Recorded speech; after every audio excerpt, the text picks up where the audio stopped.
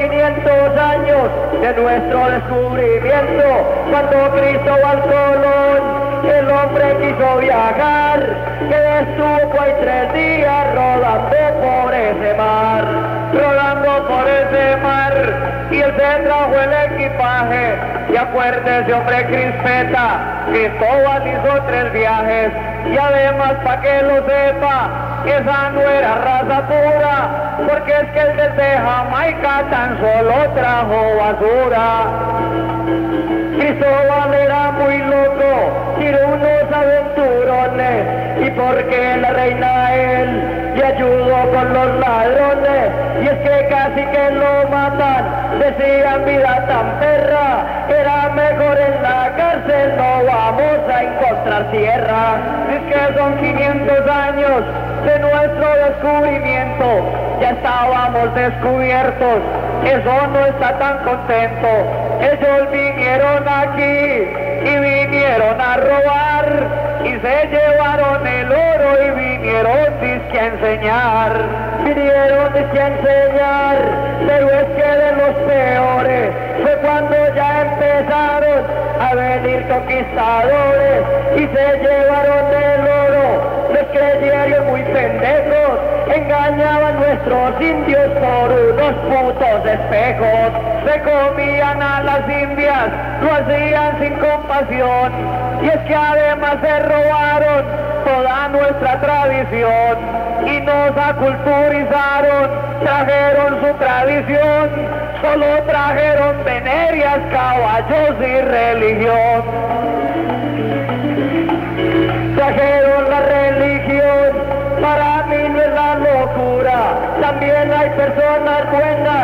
Entre ellos vinieron curas y también se llevaron, eso sí fue una locura, el robo más grande socios se llevaron la cultura, es que vinieron los curas ahí con las indiecitas, por si usted no lo sabía, esos eran jesuitas, y es que esos curas llegaron, así digo y con razón, para más tarde aplicarnos la Sagrada Inquisición.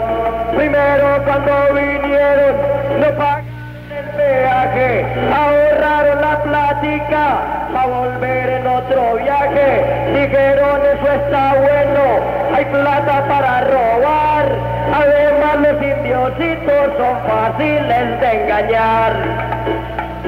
A nuestro pobre aborigen, en la consecuencia, yo creo que le robaron su alma y su inocencia, la inocencia para que sepa que no era un verso maluco, le robaron compañero la desnudez y el guayuco, a todos los explotaron, los que somos colombianos, a los indios los forzaron, sabiendo eran a los trabajos tan duros, al que el esclavo encamina, por ejemplo ese maltrato de meterlos a una mina, en Tunja y Cundinamarca, no sé si usted lo sabrá, allá estaban los caciques de Funza y de Bacatá, y aquí en Antioquia tenemos, por si no lo sabe usted, el cacique Nutibara y el gran cacique Toné. Pero antes quiero decirle lo que ellos nos enseñaron. Ahí está la literatura, muy clara que nos dejaron. La forma de periodismo, se llamaba. Esos relatos corticos con que algo se contaba. Ellos trajeron basura y eso no era tan mamey. Con las joyas de una vieja que era la esposa del rey. Llegaron a Bogotá, llegaron entusiasmados, no para enseñarnos nada, fue para buscar el dorado. Más tarde, cuando llegó ese infeliz, que siempre se repartieron, fue por todo este país. Vinieron curar muy buenos, que me acuerdo en el ayer, aquel santo consagrado como fue Pedro Claver.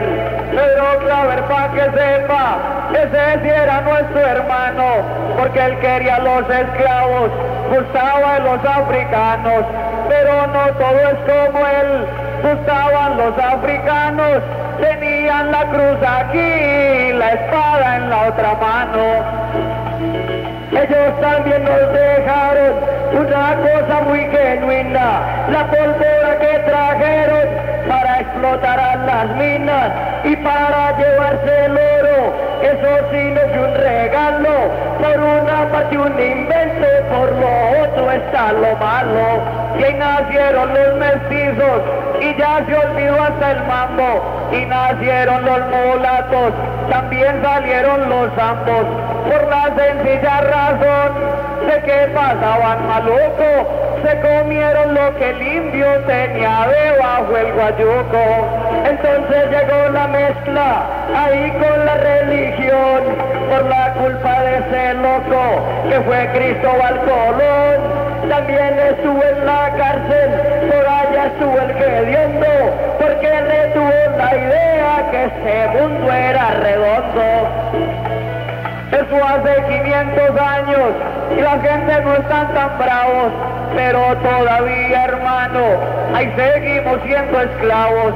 Aunque de España, compadre, no hay asunto conocido, todavía somos colonia de los Estados Unidos.